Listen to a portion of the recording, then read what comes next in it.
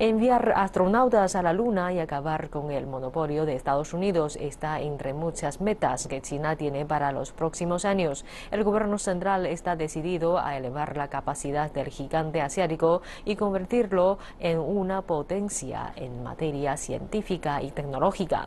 Nuestro reportero ah, Octavio Fernández le presenta en nuestra serie especial China en cifras el camino que China ha tomado para incentivar la investigación y el desarrollo.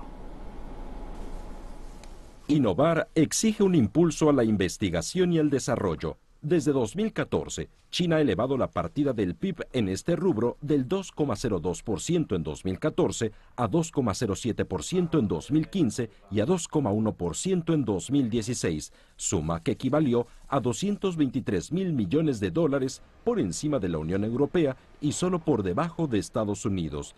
China afirma que para el año 2020 su gasto llegará al 2,5% del PIB. El liderazgo absoluto llegará con tecnología propia e innovadora. En 2016, China se incorporó en el índice mundial de la innovación. Un año después avanzó tres lugares. En 2017 se colocó en la vigésima segunda posición. El plan es convertirse en una nación innovadora para el año 2020, en un líder internacional en innovación para el año 2030 y en una potencia en innovación científica y tecnológica para el año 2050. El registro ascendente de patentes perfila a China como centro mundial de la innovación. En 2015, China recibió 1,10 millones de solicitudes y se convirtió en el primer país en recibir más de un millón. En 2016, China concedió 43.168 patentes en contraste con las 29.839 otorgadas en 2014. De 2015 a 2016, el número de solicitudes registró un aumento de 44,7%. China ocupa el segundo lugar con el mayor número de laboratorios de ideas, 435 en total, después de Estados Unidos y por delante de India. En 2016, nueve centros de pensamiento estratégicos chinos se incorporaron en la lista de los think tanks más influyentes del mundo. El Nature Index ha colocado por cuarto año consecutivo a la Academia de Ciencias Sociales de China en la primera posición de las instituciones científicas del mundo.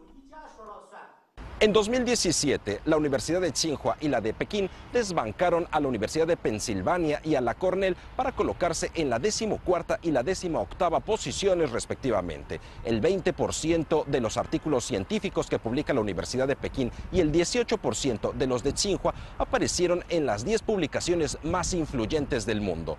China tiene 1,5 millones de científicos por delante de Estados Unidos y solo por detrás de la Unión Europea. Algunas de estas investigaciones se llevan a la práctica en el cosmos. Desde 2003, su programa espacial ha puesto a 11 astronautas en el espacio con 6 naves tripuladas. Las naves de la serie Shenzhou han sido lanzadas exitosamente en 11 ocasiones, la primera de ellas desde el centro de lanzamiento de satélites Jiuquan, uno de los cuatro centros de lanzamiento funcionando. China ha enviado tres sondas lunares desde 2007 y planea enviar una cuarta en 2018. En cuatro décadas, China ha enviado más de 200 cohetes de la serie Gran Marcha, 86 de ellos del año 2011 al 2015 y 48 del año 2006 al 2010. En el año 2022, China pondrá en órbita una estación espacial. En el año 2024 será el único país con una estación espacial. Y para el año 2036, astronautas chinos pisarán la Luna por vez, terminando así el monopolio de Estados Unidos en este satélite natural.